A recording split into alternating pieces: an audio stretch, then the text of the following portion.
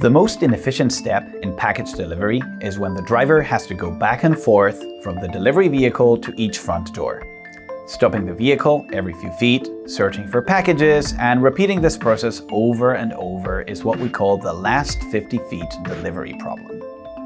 We've designed a delivery robot that will fully automate this process and has the potential to double the efficiency of human drivers. I'm Jaime Fernandez Fisac, and I'm an assistant professor of electrical and computer engineering at Princeton University. And I'm Robert Shi.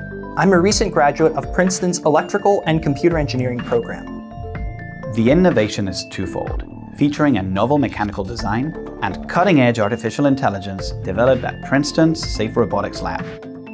A fluid combination of legs and wheels gives the robot the agility to vault over curbs, veer around obstacles, and climb stairs.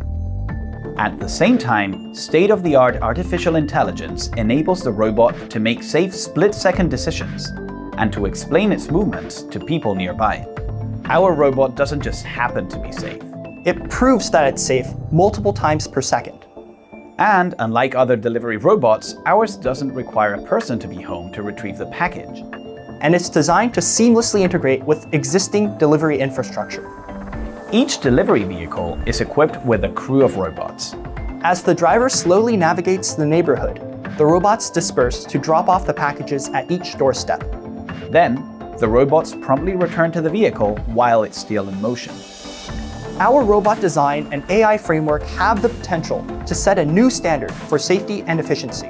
And may open the door to a future with faster and safer automated delivery.